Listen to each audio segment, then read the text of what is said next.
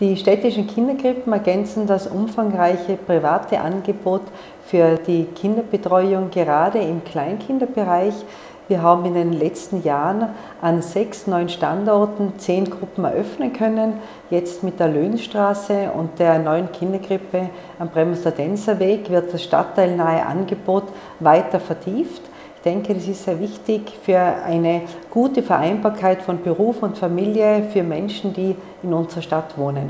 Insgesamt werden ja über 2000 Kinder in städtischen Kindergärten betreut.